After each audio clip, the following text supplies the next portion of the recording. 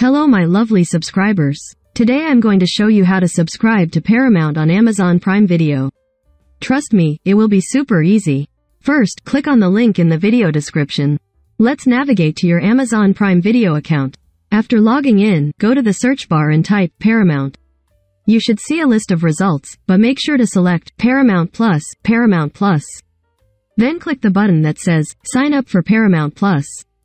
From there, you will be asked to confirm your subscription and payment method. Select the payment method that suits you best. Enter your payment information and confirm your subscription. And ready. You are now a Paramount subscriber on Amazon Prime Video. If you need a reminder on how to access Paramount content after becoming a subscriber, just go back to the Amazon Prime Video home screen and click on Channels. You will see all your available channels, including Paramount Plus. Just click on it and start streaming. I hope you found this useful. I'll leave you the beautiful Dessa and other Amazon Prime video promotions. Until next time. I went.